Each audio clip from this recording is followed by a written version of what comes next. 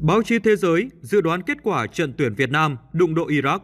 Nhiều tờ báo trên thế giới đã đưa ra dự đoán về kết quả trận đấu giữa đội tuyển Việt Nam và Iraq diễn ra vào lúc 18 giờ 30 phút hôm nay, ngày 24 tháng 1. Đội tuyển Việt Nam đã chắc chắn bị loại khỏi Asian Cup 2023 sau hai thất bại trước Indonesia và Nhật Bản. Trong khi đó, Iraq cầm chắc ngôi đầu khi thắng hai đối thủ kể trên. Tuy nhiên, trước thềm trận đấu, huấn luyện viên Jose đã kêu gọi toàn đội chiến đấu hết mình để giành kết quả có lợi.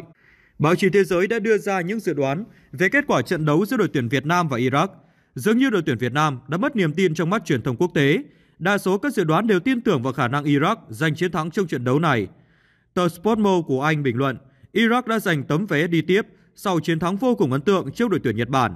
Sư tử Lưỡng Hà đã đứng vững trước sức ép rất lớn của đối thủ. Iraq đang hướng tới cột mốc lịch sử. Trong quá khứ, họ chưa bao giờ toàn thắng trong cả 3 trận ở vòng bảng khi tham dự Asian Cup. Họ đang tràn trề tự tin hướng tới chiến thắng khi thắng tới 4 trên 5 trận gặp đội tuyển Việt Nam trong quá khứ. Trong khi đó, đội tuyển Việt Nam đang trải qua giai đoạn vô cùng khó khăn cùng huấn luyện viên Jose.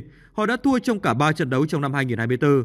Điều đáng buồn là lần đầu tiên trong lịch sử, đội tuyển Việt Nam phải dừng bước ngay ở vòng bảng Asian Cup. Nhận định về trận đấu, tờ Sportno viết thêm, đội tuyển Việt Nam đang xa sút còn Iraq có tinh thần hưng phấn tột độ. Nhiều khả năng đội bóng Tây Á sẽ nối dài thành tích đối đầu ấn tượng trước đội tuyển Việt Nam. Tờ Sportmo dự đoán Iraq giành chiến thắng với tỷ số 1-0 trước đội tuyển Việt Nam. Tờ Sportskeda của Ấn Độ có chung quan điểm. Họ bình luận Iraq bước vào trận đấu với đội tuyển Việt Nam với bộ mặt kiêu hãnh sau khi giành chiến thắng trước Indonesia và Nhật Bản. Ở chiều ngược lại, đội tuyển Việt Nam đã trải qua giải đấu đáng quên.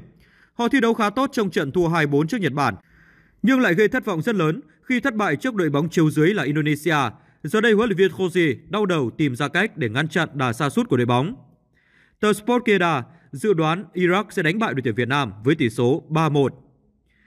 Tờ Bikiran Drapiat của Indonesia cũng đánh giá Iraq nhỉnh hơn so với đội tuyển Việt Nam ở thời điểm này. Họ dự đoán đội bóng Tây Á thắng 1-0 trước đoàn quân của huấn luyện viên Jose. Trong khi đó, tờ Bola của Indonesia tin vào sự phản kháng của đội tuyển Việt Nam trong thế chân tường. Họ dự đoán trận đấu sẽ kết thúc với tỷ số hòa hai đều.